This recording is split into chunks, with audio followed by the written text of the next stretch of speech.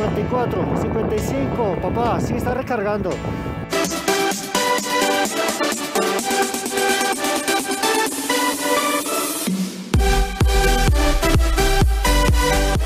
Hola familia, bienvenidos a un nuevo capítulo. Hoy con la Minibot. En este día tan espectacular, un día muy bonito, les voy a mostrar la carretera que vamos a andar hoy. Y vamos a recorrer ese camino con la Minibot. Miren el paisaje tan bonito acá en las tierras de Cundinamarca.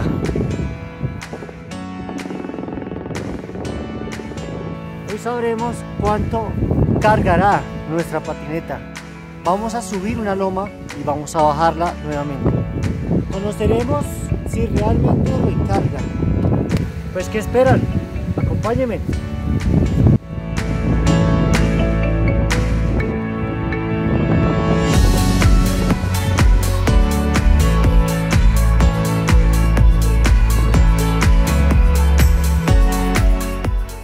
Con el 100% de su carga. Vamos a arrancar a subir las lomas o una pendiente en carretera para ver su velocidad real.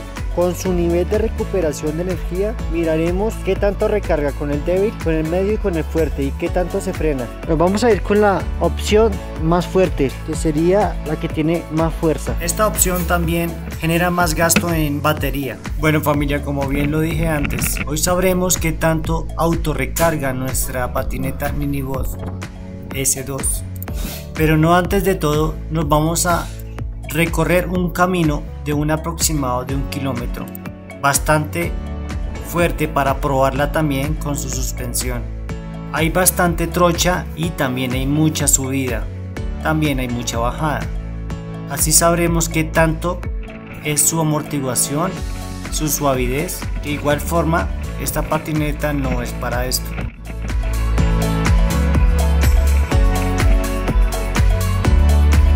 Como bien lo ven ustedes, no es tan fácil eh, andar por estos lugares, pero es un desafío y una aventura.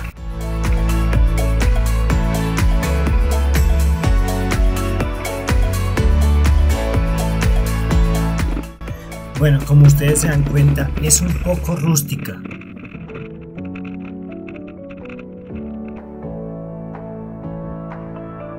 Pero la verdad me sorprende su fuerza como lo ven ahí.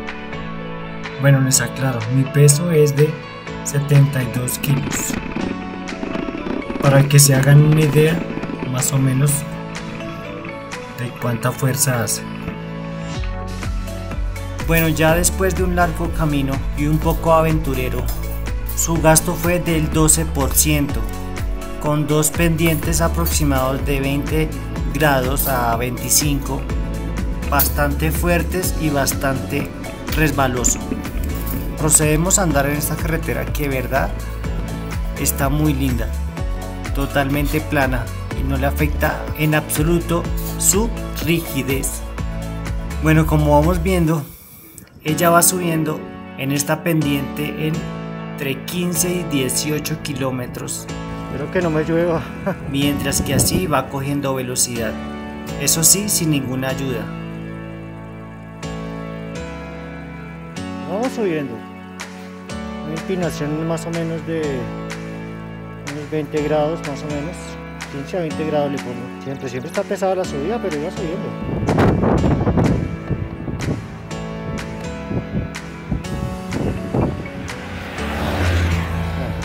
Pasó el carrito, pero vamos a alcanzarlo. carrito ya viejito, pero va subiendo también. Está cansando, pero ya sube.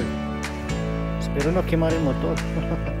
Pero dejémonos de vainas, no subiríamos en bicicleta a esta velocidad, al menos que tengamos unas super piernas o seamos muy profesionales. Yo creería que aquí subiríamos unos 14 a 12 kilómetros en bicicleta, en todo terreno, ¿no? En cross nos morimos de hambre. Para que ustedes tengan una idea qué tanto es, no sé, para los que conocen la subida a la calera es más o menos así, de ese grado de altura. Antes que se me olviden, con una altura de 2750 a nivel del mar. Eso sí, tomémonos las selfies.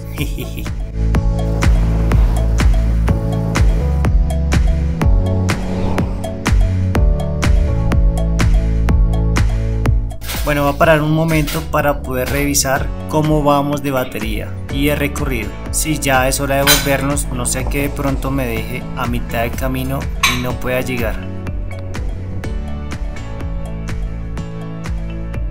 Mire cómo ha quedado mi maleta. La verdad llovió bastante y me he ensuciado un poco.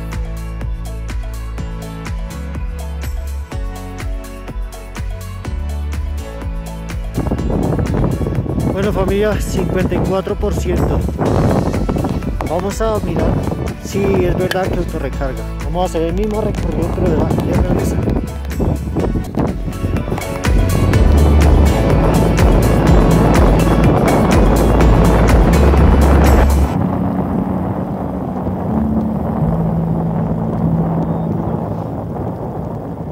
Ustedes saben que para que reautorrecargue necesita ella... Uy, pero sí, Íbamos en 52 y está recargando, sí señores. Pero necesitamos una bajada más brava. Pero pues vamos como a 13 kilómetros sin acelerar. Entonces necesitamos saber qué tan cierto es la autorrecargada. Y sí, sí se regenera. Como vieron está en 52. Ahora tiene 54. Vamos a hacer otro pequeño impulso a ver. Pero estamos esperando que haya menos tráfico.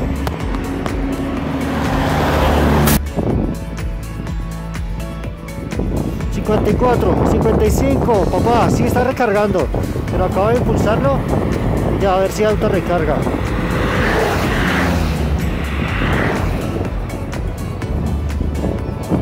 Sí señores, sí recarga, como vieron ustedes, no es mentira, sí, pero pues obviamente ella tiene que frenarse para autorrecargarse. Esa es la triste historia que unas bajaditas bien buenas tenemos una auto recarga buena. Vamos a mirar. Nos estamos devolviendo finalmente.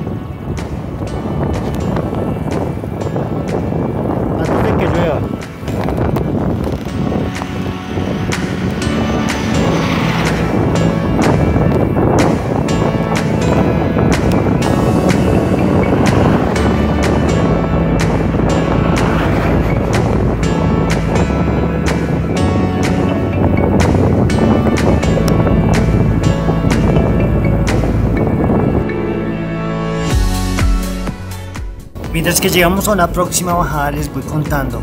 he probado su fuerte en recarga y la verdad es que frena demasiado. Pienso yo que toca empujarla y, siento que estamos bajando. Siendo así, ni siquiera rueda. Entonces en el medio es un término medio, como dice. Pero la verdad no, tampoco me convence. Mejor lo dejo en débil. Con eso alcanzo a rodar un poco más y alcanza a medio recargar. No es mucho, pero por lo menos autorrecarga. Si nosotros viajamos en una carretera de solo bajada, obviamente ella se recarga total, totalmente. Es ya comprobado. Esto fue una micro prueba.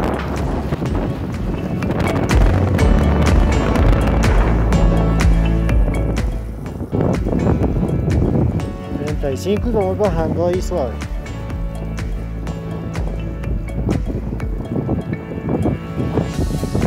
37 sin acelerarla, sin acelerar.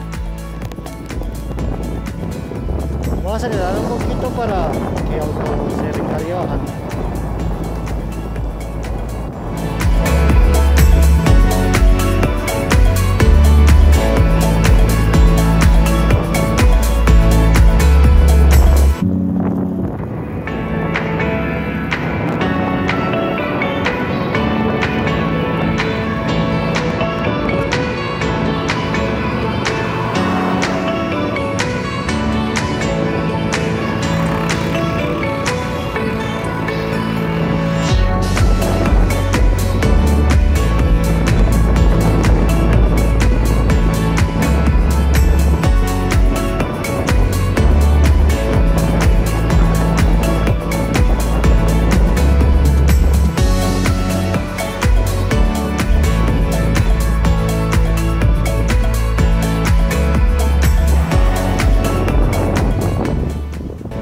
¿Alcanzará los 40? ¿Ustedes qué opinan? esta velocidad bajando. El clima ahora sí.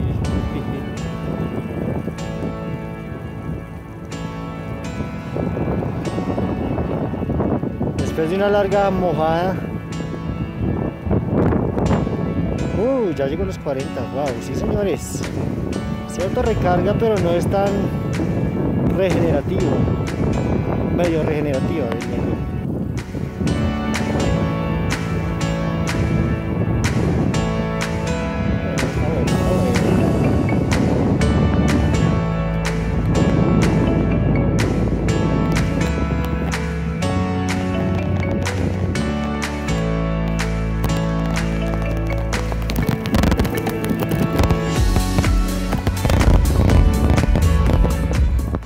Entonces espero que les haya gustado. No olviden darle like, suscríbanse y compartan. Con eso me apoyarán bastante. Hemos llegado con un 38%. Hemos salido con un 100%. Llegamos a la mitad del camino con un 54-55%. Pensé que íbamos a llegar en ceros, pero no, no fue así. La recarga generativa sí es posible, más o menos con un 20%.